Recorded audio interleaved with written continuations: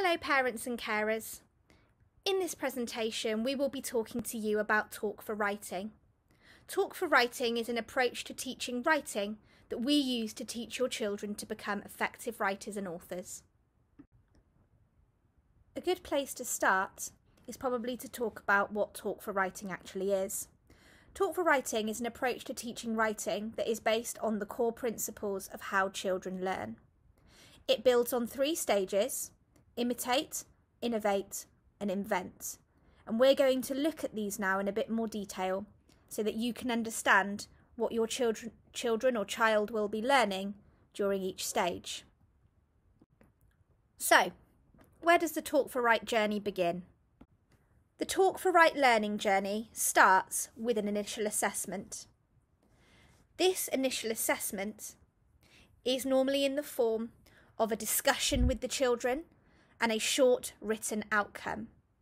From these discussions and these written outcomes, this then allows the teacher to fully understand the starting points of the children and subsequently plan accordingly for what they need to know, what gaps they have that need to be filled, what skills they need to be taught, and also gives them an understanding of what prior knowledge they have been able to bring from prior units that they have been taught.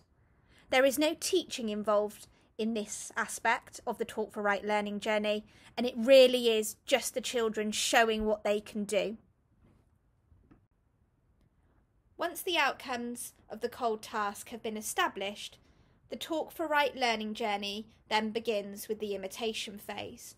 And I'm now going to talk you through some of the activities your children will do during that phase. The imitation phase of the Talk for Write learning journey is really designed to create that buzz and excitement to write.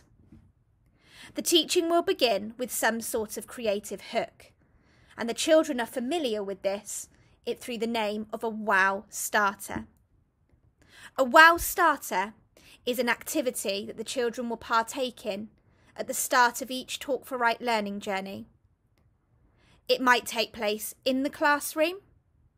Through the pictures, you can see sometimes it takes place outside of the classroom. It may be through the form of drama. It may be staged by the teachers.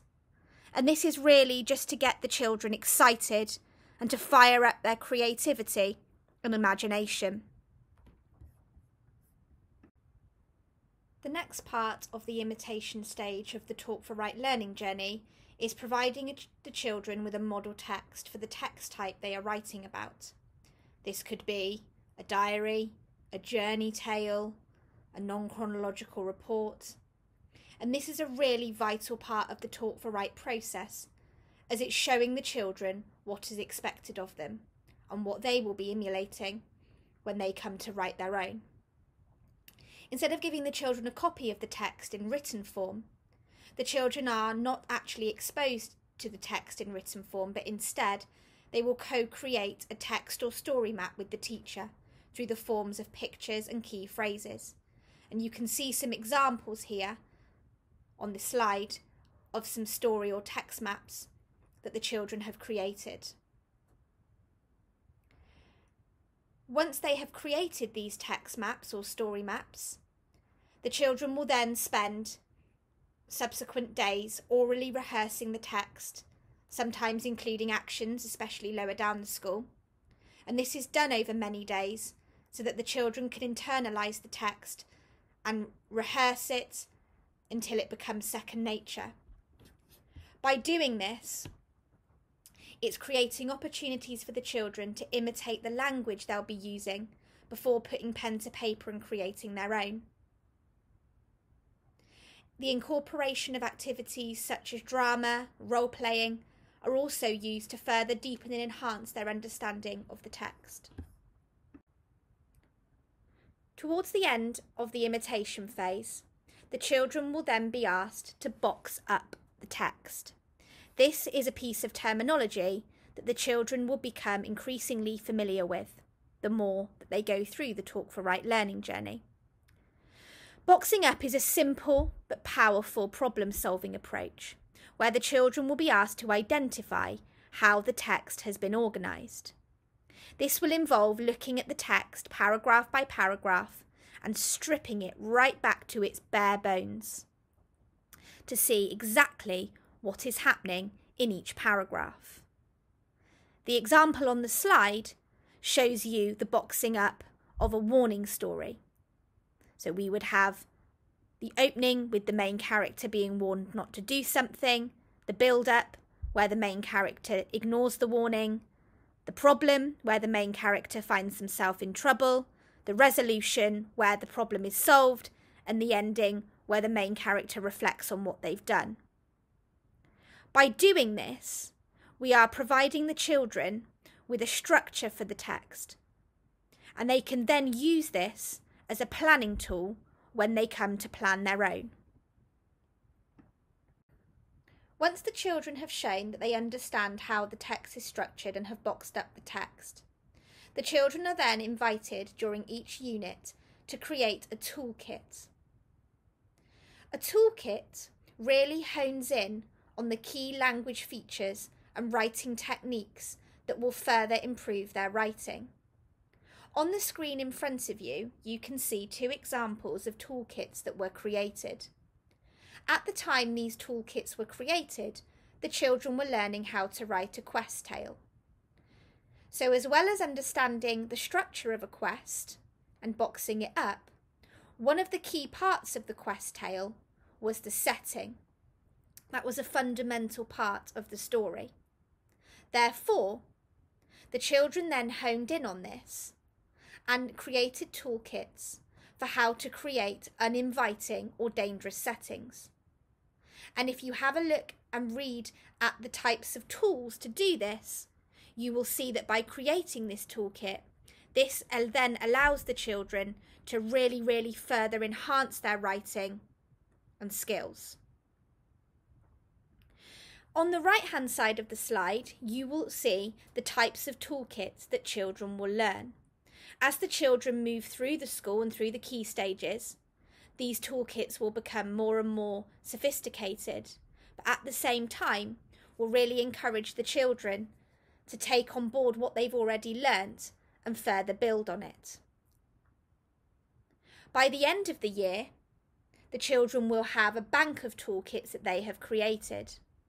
These toolkits remain present in the classroom because we will encourage the children to use more than one toolkit to really further uplevel their writing. The second phase of the Talk for Write learning journey is known as the innovation phase. Once the children are familiar with the model text, the teacher will then lead them into creating versions of their own. This is the part of the journey where the children will start to have a go at writing themselves using the tools they have gained from the imitation phase. This stage will normally begin with the children learning skills from the toolkit. These are skills that the teacher will have assessed for in the cold task. You will also see in this stage children doing shared writing, which is writing with the teacher. You may hear them talking about modelled writing, which is where the teacher models the writing process. And then the children will be able to be given opportunities to apply skills that they have learnt through the use of what we call short burst writing, which are short, structured writing tasks which show us what the children have learnt so far.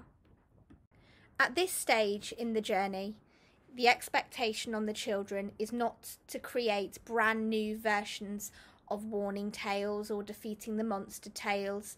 It's about them using all the skills that they've learnt, including making use of the model text to make new versions that are loosely based upon the story or the text that they already know. Before the children write anything down, they will be encouraged to plan. On the left hand side of the page, you can see here some examples of the children planning. With younger pupils, this will be based on changing the basic story map they have learnt and retelling new versions. Older students use boxed up planning grids, and the teacher will demonstrate how to create simple plans and orally develop their ideas. Once the children are confident with their plan and have shown that they are orally able to rehearse what they want to write, the children will be encouraged to write over a number of days. The children's work, as you can see on the right hand side, will be marked and feedback will be given. Children are encouraged to edit their work to ensure that they have shown their ability to include all the skills that they need to before moving on to the final stage of the process. Eventually, children will move on to the third and final phase of the Talk for Write learning journey, which is called the invent phase. The children will also know this as the independent application, because this is when they will apply independently what has been taught to them and what they have practiced so far. Much like the innovation phase, students are guided through planning, drafting, and revising their work. But this time, it is much more independent. It is also important at the independent application stage that their writing becomes increasingly independent of the original model text they have learnt. Lower down in Key Stage 1, children will make simpler changes to the model text. However, as the children progress through Key Stage 2, they will be expected to add, embellish, alter, and manipulate the original model text they have learnt. From Key Stage 2 onwards, almost all children will be using the text structure and writing tools to write, drawing on the model text they know, their wider reading experience, so that they are writing independently and at a high level. Once the children have written their independent application, they will be asked to edit their work and make a few final changes before publishing their work in a book which is designed to show their best writing. I hope that you have found this presentation useful. If you have any more questions about the Talk for Write learning journey, I urge you to speak to your children's class teacher.